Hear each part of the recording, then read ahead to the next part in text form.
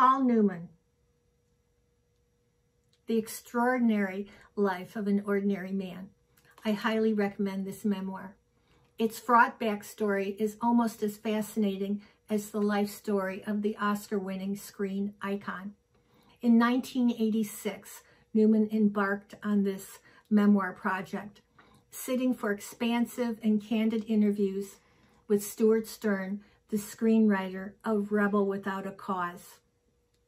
Newman encouraged friends and family to collaborate and to not hold anything back in uh, their tape discussions uh, about him. In 1991, though, Newman changed his mind and he destroyed all the recordings. But the transcripts remained. And more recently, his family decided to um, reconstruct them for this book, which arrived about 14 years after Newman himself died in 2008 at the age of 83. Maybe some of you saw the HBO series The Last Movie Stars, in which actors um, reenacted some of the inter taped interviews. Newman's memoir is extraordinary.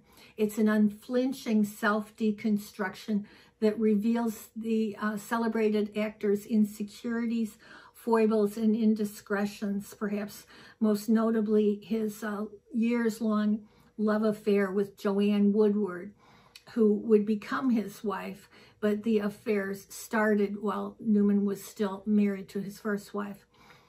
Uh, Newman's observation in the book that uh, Joanne Woodward turned him into a sexual creature went all kinds of viral uh, months before the, um, the release of the book.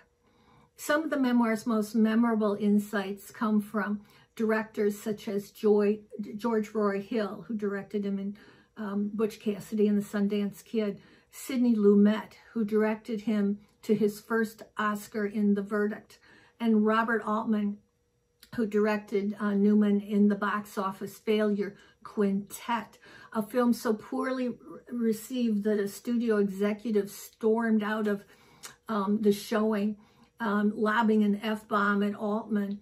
Um, I really liked the film, Altman, Altman always maintained.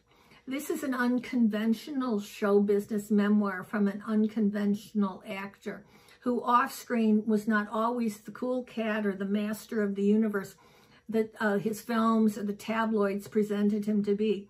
It will certainly uh, make you see some of his classic performances in a whole new light. And that's my verdict.